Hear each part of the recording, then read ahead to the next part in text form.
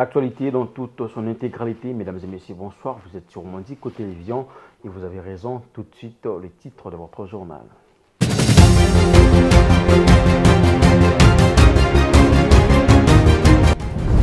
Un mort et huit blessés, parmi eux des femmes et un enfant. Tel est le bilan d'une nouvelle explosion lors des accrochages qui opposent depuis tôt le matin de ce mardi 16 juillet le rebelle du 1-23 et les FARDC appuyés par le Ouazalendo dans la cité de Boueremana dans le territoire de Massissi. Pour l'instant, c'est une panique totale qui caractérise la population de Boueremana.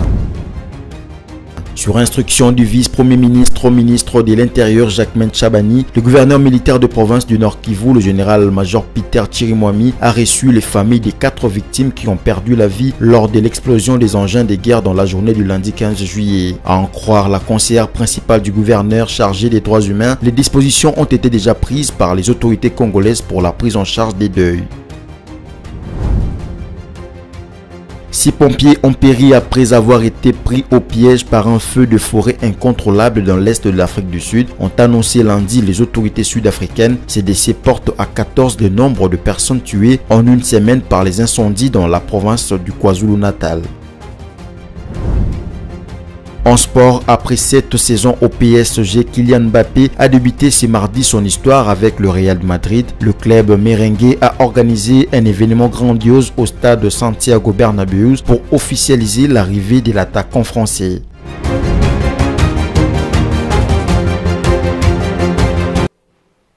Mesdames et messieurs, bonsoir. À la une de l'actualité, une nouvelle bombe larguée depuis la ligne de front a explosé le matin de ce mardi 16 juillet à Boueremana, causant la mort d'un soldat des forces armées de la République démocratique du Congo et FARDC et blessant huit autres personnes, parmi lesquelles quatre militaires, trois femmes civiles et un enfant. Cet incident tragique vient alourdir le bilan d'une situation déjà critique dans la région. Suivez.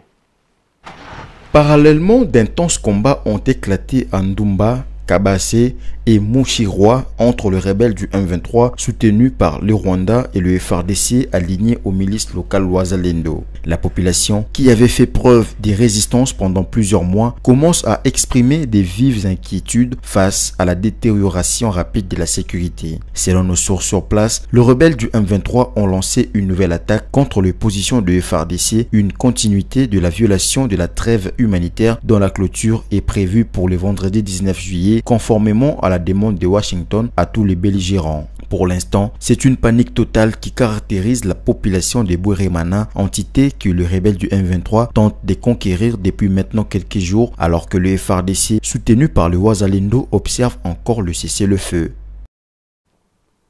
Bien avant cette nouvelle explosion, quatre personnes ont été tuées et plusieurs autres blessées par une bombe larguée, celle-ci le lundi par l'armée rwandaise sous le label du 1-23 à Boueremana, dans l'est de la République démocratique du Congo, sur la population civile en violation de la trêve humanitaire de deux semaines.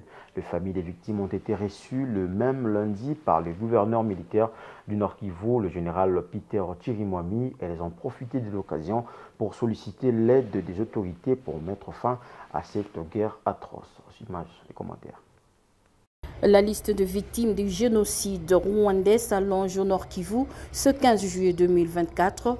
Quatre autres morts et des blessés victimes des largages de bombes de la coalition M23 sont enregistrés à Boueremana sur instruction du vice-premier ministre et ministre en charge de l'Intérieur. Le gouverneur du Nord Kivu, le général-major Peter Chirimwami, a reçu ces victimes, explique Mme Priska Kamala Luanda, conseillère principale du gouverneur en charge des droits humains. Nous avons ici trois familles parce qu'il y a une famille qui a perdu deux personnes. Euh, D'autres familles ont perdu une personne, une personne. Ça fait le total de quatre personnes. Et euh, aujourd'hui, euh, les, les VPM, est déjà au courant de ce qui s'est passé à Boueremana, raison pour laquelle il a délégué le gouverneur des provinces qu'il puisse recevoir la famille des victimes parce qu'ils vont rentrer aujourd'hui même à Boueremana parce qu'il y a d'autres familiers qui sont restés sur place et puis organiser aussi les deuils. Les victimes ont elles-mêmes peint leur situation très difficile alors qu'elles croyaient se mettre à l'abri de rebelles. Le bombardement venait de montagne et a frappé à Minova et Buremana. Aidez-nous que ces M23 sortent d'ici. Sortez-les. Aidez-nous. Nous sommes exterminés. Ce n'est pas la première fois, ni la deuxième fois. Les M23 nous a fait beaucoup souffrir. Le 2 août 2024, à la commémoration du génocide des Congolais, les nouvelles victimes seront mises en terre dans les cimetières Génocoste. Restons toujours dans la province du Nord Kivu, le vice-premier ministre de l'Intérieur est arrivé à Boutembo le après-midi de samedi 13 juillet 2024. Sur place à Boutembo, Jacquemin Chabani a accordé plusieurs audiences sur différentes couches sociales sur la situation sécuritaire dans cette partie du Nord Kivu. À la presse, il a dit être essentiellement venu non seulement collecter la situation réelle sur terrain, mais également apporter un message de réconfort du gouvernement central à la population de cette partie de la RDC en proie à l'insécurité. Suivez son propos. C'est une mission d'itinérance euh, principalement à caractère sécuritaire. Vous-même, vous, l'avez dit que la contrée euh, connaît des, moments difficiles et particuliers. Donc euh, le président de la République, Madame Son Excellence la Première ministre, ont jugé utile que nous puissions venir avec les collègues du gouvernement accompagné aussi d'une délégation de, de l'Assemblée nationale, principalement pour euh, échanger avec les forces vives de, de la ville et de la, et de la contrée, prendre euh, les informations utiles, mais aussi les réconforter, les rassurer euh, qu'ils ne sont pas seuls, abandonnés, que le gouvernement de la République s'implique davantage pour mettre fin à toutes ces difficultés, mettre fin à cette guerre et pour que le retour de la paix soit effectif dans les, délais les plus brefs. Et pour clôturer ces chapitres consacrés à la situation sécuritaire dans l'Est du pays, à quelques jours de la fin de la trêve humanitaire, le gouvernement de la RDC s'active pour acheminer les aides humanitaires, ce qui justifie une réunion importante pour résoudre le problème humanitaire dans l'Est du pays et dans d'autres coins, entre la ministre des Affaires sociales, Action humanitaire et de la solidarité nationale, Aziza Mounana, ainsi que le CUP humanitaire pays. Après la réunion, Aziz Amounana rassure ses partenaires de l'accompagnement du gouvernement à résoudre rapidement le problème humanitaire. Images et commentaires. Les urgences humanitaires font partie du lot quotidien de la ministre des Affaires sociales, Action humanitaire et solidarité nationale, Aziza Mounana, qui s'est déplacée personnellement pour aller rencontrer l'équipe humanitaire pays. Ensemble, ils ont fait le tour d'horizon de la situation humanitaire en République démocratique du Congo. La chef de bureau a présenté le contexte en brossant la situation humanitaire générale du pays. Près de 23,4 millions de personnes en insécurité alimentaire, 8,7 millions de déplacés internes nécessitent près de 2,6 milliards de dollars américains, doublé de 53 000 cas de personnes vivant dans un environnement infesté de choléra et de rougeole. Entre l'équipe humanitaire et le ministère des Affaires humanitaires, nous sommes des siamois. Nous sommes attachés par la hanche.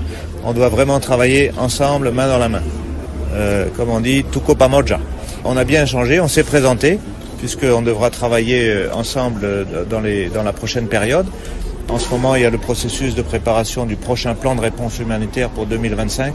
Donc c'est fait avec les autorités euh, sous le leadership du ministère des Affaires humanitaires. Pour la ministre des Affaires sociales, Action humanitaire, Aziza Mounana, il faut urgemment mener une action humanitaire et une nécessité d'engager des processus de solutions durables et mettre fin aux interventions ponctuelles. Avec l'accompagnement du gouvernement souminois et la détermination du chef de l'État, Aziza Mounana réaffirme son engagement de participer à la résolution du problème humanitaire. Elle a par ailleurs promis d'y travailler d'arrache-pied pour trouver des solutions autant que faire dans les limites de ses compétences.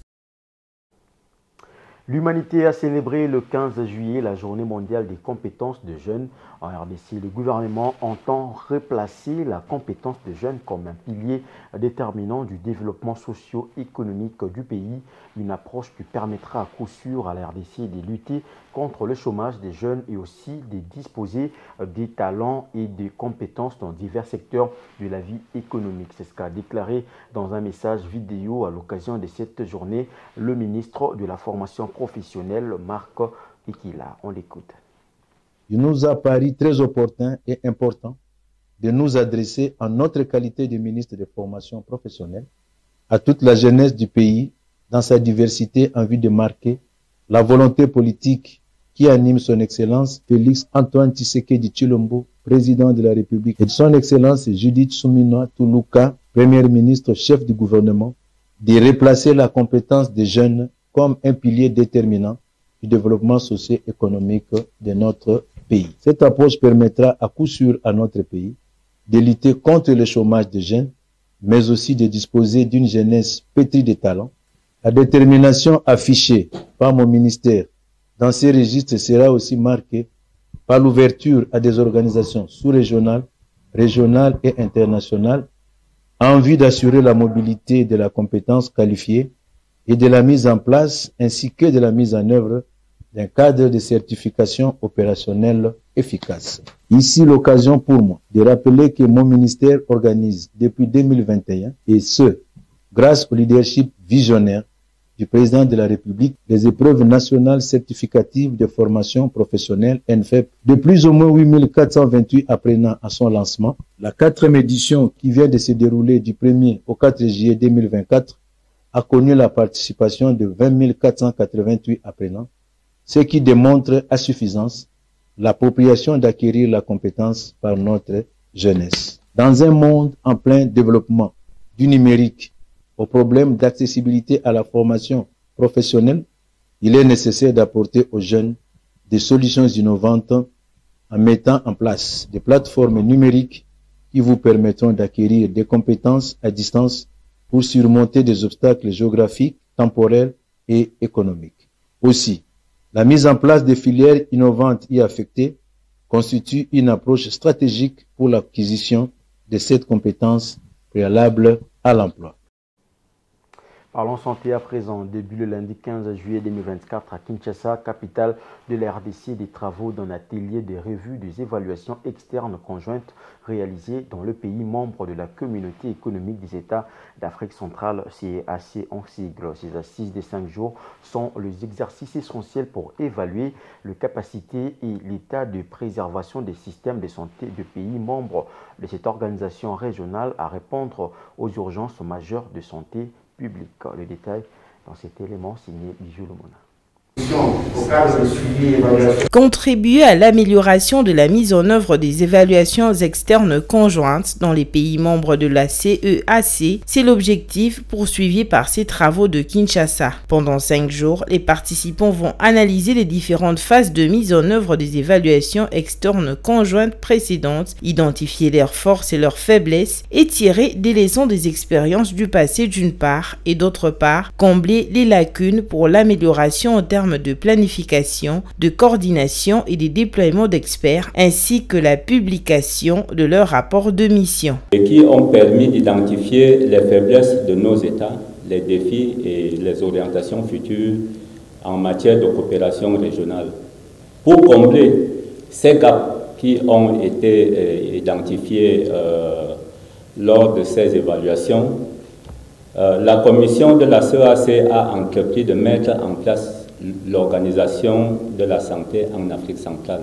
Nous nous félicitons enfin de la tenue ici à Kinshasa de cette réunion et saluons vraiment les efforts de la République démocratique du Congo, étant donné que le président de la République du Congo euh, avait été désigné formellement champion régional pour la promotion de l'éducation, la santé et la culture par la CEAC. Pour le représentant adjoint de l'Organisation mondiale de la santé en RDC, ces travaux permettront également d'échanger sur les expériences entre les pays de l'Afrique centrale, les défis rencontrés par chaque pays en vue de ressortir des solutions idoines des natures à contribuer à l'amélioration de la mise en œuvre de prochains cycles des évaluations externes conjointes des capacités minimales requises au titre du règlement sanitaire international dans les pays membres de la communauté économique des États de l'Afrique centrale. L'OMS tient à remercier les gouvernements de la CIAC et salue leur engagement à assurer la sécurité sanitaire par des changements importants pour obtenir de meilleurs résultats en matière de santé. Et vous invitez à des échanges francs. Il ne faut pas se cacher, il ne faut pas voiler la vérité. Pour aboutir à un réseau robuste qui protège la santé de nos populations. Pour y arriver, votre expertise, vos idées et toutes vos contributions sont bien entendues et puis euh, doivent être prises en compte. Représentant le ministre congolais de la Santé publique, le docteur Romain Moubobaï a invité les uns et les autres à capitaliser ces moments d'échange pour mettre à la disposition des pays membres de cette organisation régionale des outils nécessaires pour être capables de détecter, riposter efficacement contre les crises sanitaires. Je vous exhorte à procéder à une analyse sans complaisance, un peu comme l'a dit Monsieur le représentant, se regarder les yeux dans les yeux et se dire les vérités. Donc faire une analyse durant ces cinq jours afin que les évaluations qui seront faites au titre du RSI soient les meilleures possibles pour le bien de nos populations respectives et pour la promotion de la sécurité sanitaire dans notre sous-région. Au total, 11 pays membres prennent part à ces travaux. Il s'agit notamment de l'Angola, du Burundi, du Cameroun, de la République du Congo, du Gabon, de la Guinée équatoriale, de Sao Tomé, du Tchad, de la République démocratique du Congo, de la République centrafricaine et du Rwanda. Et puis cette convocation qui défraye la chronique en l'absence de leurs clients le collectif des avocats des Kofi Olomide a répondu le lundi 15 juillet à l'invitation des inspecteurs du parquet près la Cour de cassation. L'un des avocats de la star de la musique congolaise a affirmé avoir remis aux autorités judiciaires toute le pièce justificative de son absence. Le ministre de la Justice, pour sa part, a également informé l'opinion qu'il n'existe aucun dossier contre Kofi Olomide qui serait libre de tous ses mouvements. Rontalou est là pour ses commentaires. Le ministre de la Justice, maître Constant Moutamba, a à travers un communiqué démenti l'ouverture d'un dossier pénal contre l'artiste musicien Kofi Olomide. Ce communiqué a eu pour but de rassurer l'opinion publique qu'aucune procédure pénale n'a été ouverte à l'encontre de l'ambassadeur de la culture congolaise qui demeure libre de ses mouvements tant à l'intérieur qu'à l'extérieur du pays. L'invitation du parquet a eu une finalité pédagogique mais à l'absence de Kofi Olomide, ses avocats ont répondu ce lundi 15 juillet à l'invitation des inspecteurs du parquet près la Cour de cassation. Vous savez, quand on est invité par la justice, c'est pratiquement comme si vous avez un rendez-vous à votre médecin. Les gens ne devaient pas donner place à, à l'agitation, les gens devaient être habituellement serein quand il y a des invitations comme ça. Kofi Olomide, c'est un grand artiste. Il n'est pas présent parce qu'il est en voyage. Nous avons fait voir euh, à l'inspecteur euh, les pièces qui justifient effectivement qu'il a eu un visa. Bien avant tout ça, il est parti. Il va revenir parce qu'il a un domicile ici. Donc, euh, ne laissons pas place aux spéculations. Soyons sereins, il sera de retour, il y a une date précise. Et il va devoir s'émouvoir librement euh, hein, devant la justice et dans ses activités traditionnelles. Les avocats de Kofi Olomide ont présenté au secrétariat du parquet la preuve de l'absence de leurs clients du pays en ce jour pour une production musicale en Afrique du Sud.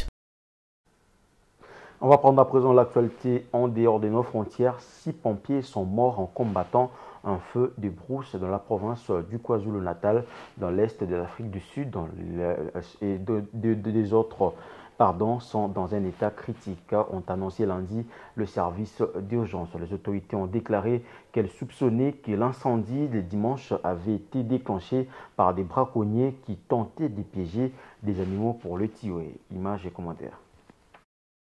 Pompiers sont morts sur les lieux de l'incendie près de la ville de Boston, à environ 130 km à l'intérieur de terre de la ville de Durban, sur la côte est. Selon le rapport du porte-parole du service d'urgence, Roland Robertson, il a ajouté que trois autres pompiers avaient été soignés et placés sous respirateur, mais qu'ils étaient tous décédés peu après leurs administrations à l'hôpital. Un pompier est toujours sous respirateur à l'hôpital et un autre est également dans un état critique. Monsieur Robertson a indiqué que certains braconniers aurait également blessés dans les incendies survenus à proximité des fermes privées. Le vent et la sécheresse du sol ayant provoqué des incendies incontrôlables. Aucune arrestation de braconniers présumés n'a été signalée. Les incendies se sont déclarés dans d'autres. Les incendies se sont déclarés dans d'autres parties du KwaZulu-Natal la semaine dernière en raison de chaleur et du vent, faisant au moins sept autres morts dans différentes parties de la province. Selon le gouvernement local, ces incendies surviennent alors que les autres côtes de l'Afrique du Sud a été frappée par de multiples tempêtes entraînant des vents violents et des inondations. Une série de francs froids en provenance de l'océan Atlantique a causé de dégâts considérables au Cap et dans les régions avoisinantes. À l'extrémité du sud-ouest du pays, au cours du dix derniers jours, environ 1500 personnes ont été touchées et des milliers de maisons et autres structures ont été endommagées et détruites. En sport, c'est officiel, Kylian Mbappé appartient désormais au Real Madrid. Le footballeur français a été présenté ce mardi 16 juillet 2024 au public du club espagnol. Au moins 80 000 personnes étaient présentes au Santiago Bernabéu, théâtre de l'événement. Merveille Labéa pour plus de détails. Mbappé À 25 ans, Kylian Mbappé réalise enfin son rêve d'enfant, preuve qu'il a préparé ses instants depuis. C'est en espagnol que le français livre ce premier mot sous ses nouvelles couleurs. Me voy a intentar hablar en español.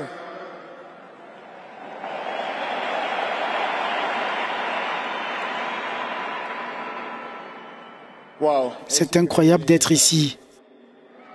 C'est incroyable.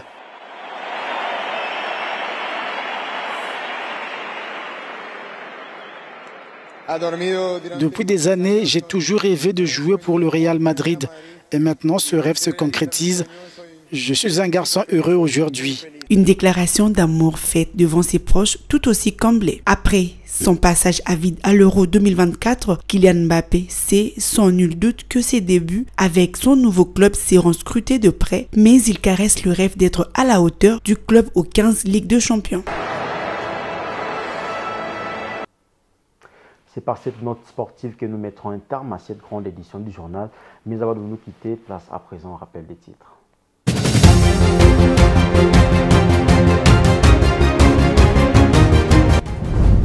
Un mort et huit blessés, parmi eux des femmes et un enfant. Tel est le bilan d'une nouvelle explosion lors des accrochages qui opposent depuis tôt le matin de ce mardi 16 juillet le rebelle du 1-23 et les FARDC appuyés par le Ouazalendo dans la cité de Boueremana dans le territoire de Massissi. Pour l'instant, c'est une panique totale qui caractérise la population de Boueremana.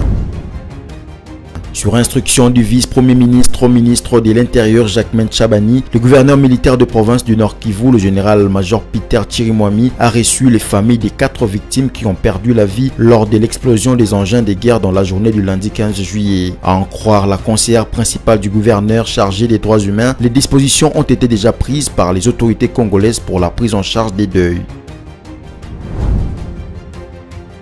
Six pompiers ont péri après avoir été pris au piège par un feu de forêt incontrôlable dans l'est de l'Afrique du Sud, ont annoncé lundi les autorités sud-africaines. Ces décès portent à 14 le nombre de personnes tuées en une semaine par les incendies dans la province du KwaZulu-Natal. En sport, après cette saison au PSG, Kylian Mbappé a débuté ce mardi son histoire avec le Real Madrid. Le club merengue a organisé un événement grandiose au stade de Santiago Bernabéu pour officialiser l'arrivée de l'attaquant français.